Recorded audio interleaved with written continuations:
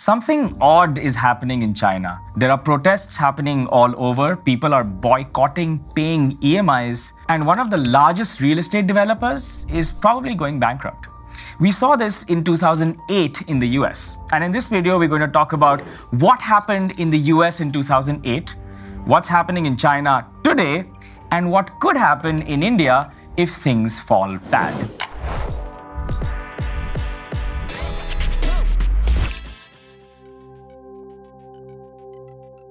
Let's understand what happened in 2008.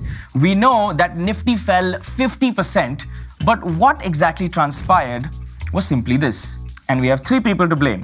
We have real estate developers, we have banks and their unlimited greed, and people who wanted to buy houses they just simply couldn't afford. Simply put, people were allowed to buy houses for a price that they could not afford. Now imagine the bank saying, you can buy this house and you have to pay a very low interest rate. And even though your credit score is really, really low, we'll still allow you to buy this house. And these suboptimal or subprime mortgages, which are bank loans, were given to all these people. Everyone was happy. People were paying their interests in time, sort of, and they did this at a huge scale. And this just kept going up and up, higher and higher. Now, apart from this, the banks wanted to make even more money out of this pile of home loans. And they took this and they sold it as an investment product.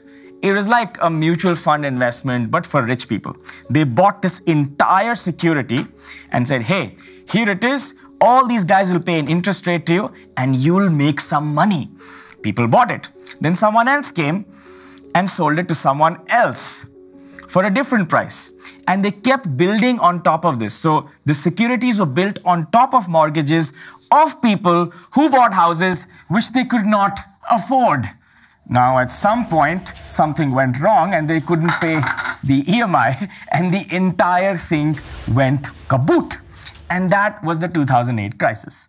Now, Lehman Brothers, one of the largest banks in the country, lost $3 billion in just three months. That was actually a small amount. When that bank, and it was the largest bank back then, went bankrupt, they had $619 billion in debt. I'll say that again. $619 billion in debt for just that one company. So you can imagine what all the banks together would have lost. Now, three things happened which turned this into a financial crisis. This is not enough to turn the entire world down, right? The first thing was that there was unprecedented growth. There were lots of people offered loans who took lots of debt to actually buy these houses. And when all of them defaulted, the thing went kaput. The second thing was adjustable rate mortgages. Basically, it means the bank can change the interest rate depending on how the market moves. So imagine you had to pay 5,000 rupees EMI this month, but after a few months, the bank says, no, now it's 10,000, then became 15, 20. And because it changed, people just couldn't afford it because the adjustable rate mortgages just didn't make sense for someone who just couldn't afford it. I mean, he shouldn't have bought that house in the first place. And finally, Put this all together at a really large scale and you have a crisis. Now, in response, the government had to set in. Now, if it was just capitalism, we should have probably let them die. But the government said, no, we will bail out all of these banks by printing money and literally giving it to them so they don't lose all these jobs. Now, there are a lot of conspiracy theories around why this happened. You can check out YouTube. But the point is, a lot of money was printed, inflation went up, and these banks were bailed out. And some of them obviously were left to die. Now, why am I telling you all of this? This is connected to what's happening in China or might happen in China. So let's talk about China. Now, you probably think houses to buy near your home are super expensive, and probably think the most expensive houses to own are probably in New York, Sydney, or even place like Canada. But the truth is, if you look at this chart, the most expensive places in the world to buy a home is Beijing, Hong Kong, Shenzhen, Shanghai, and Guangzhou it's actually many times over, or sometimes two to three times the price at London, Tokyo, Vancouver, Sydney, and New York. Houses in China are 30 times the average annual income, which makes it super expensive to actually own a home. However, as you can imagine from this that we've done here, these people were allowed to buy a lot of homes, a lot of homes. And this comes to the problem. Evergrande, which is China's largest real estate developer, borrowed $300 billion to create houses all across the country, which means now they have a lot of houses that they need to sell to actually make a profit, or at least make back the amount so they can pay the loan they took to build it in the first place. Another company is Sunac China and Shimao China, and last year they actually delayed their loan payments. In fact, Evergrande themselves are not paying interests due on the loans that they've taken. Now, this usually means that things aren't going well. Ronshine China, which is amongst the top 30 developers, is saying that they won't post their audited result. What? Because their auditor resigned. So, whenever companies aren't paying up to their vendors or bank interest loans, or say we can't publish our audited result, something is wrong. In fact, Chinese residents are now boycotting EMI payments en masse. I literally mean 86 cities have said that they will stop paying EMIs because their houses aren't ready. So imagine the builder saying you have to pay a certain amount as they complete the entire residential project. But the real estate developer never completes it and is demanding payment. Therefore, the entire city is saying they will not pay the builder. Now, this is a chicken and egg problem. They don't have the money to build it, and neither do they. What happens? It's probably going to be really ugly and like a default, maybe close to the 2008 crisis. What do you think? If you think something like this is happening, put it in the comments below. I'm curious to know what you think.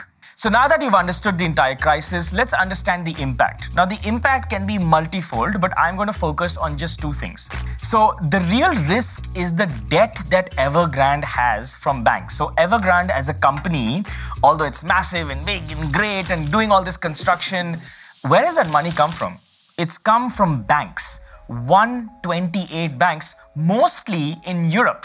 And we know where banks get their money. They get it from citizens of the European Union from their savings. And that's lent out to one guy, Evergrande. So as soon as Evergrande, if they ever say, we can't pay, sorry, we don't have the money, it'll actually cause this crazy domino effect where all these banks suddenly have a lot of loan proceeds, which are now essentially non performing assets. The next thing I'm going to talk about is metal. Now, India is producing a lot of metal. You can look at the price of metal, it's been going up we know a price of something goes up when we're able to sell a lot or there's a lot of demand. So, where is all this demand coming from? Where a lot of this demand is coming from China. If the Evergrande company and other construction companies need to build stuff, they need metal. And metal India is a big exporter. So much so in 2020, this is how much we exported. And in 2021, this is how much we're exporting in iron ore. This means that there is a huge push from India and China is importing metal from us.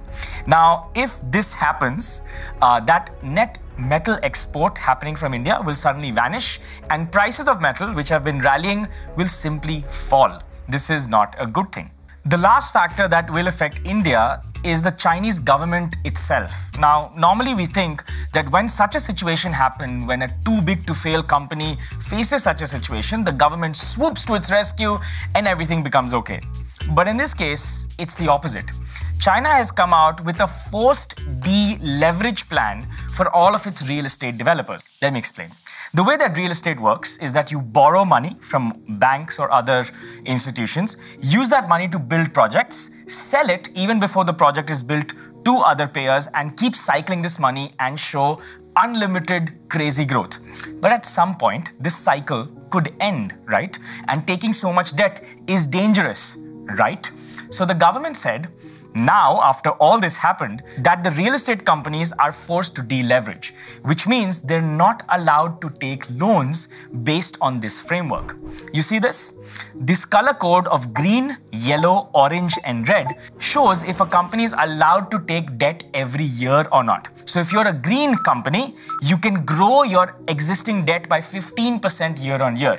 And if you're categorized as a red company, you cannot grow annual debt at all. Now, this is a problem because without debt, growth will not happen. Now, the interesting thing is, after this rule was out, Evergrande is actually in the red zone. So, even if it wants or there are people to give them loans, they just simply can't because the new rules don't allow it. So, the writing's on the wall. It seems like Evergrande will actually fail or something terrible may happen very soon. And if that happens, India will obviously be affected. But you tell me, do you think their customers will actually pay up and Evergrande can actually grow? Can it actually grow without credit? What will happen to the metal sector? Chemicals is also something we're exporting to China. Would that sector be affected as well in India?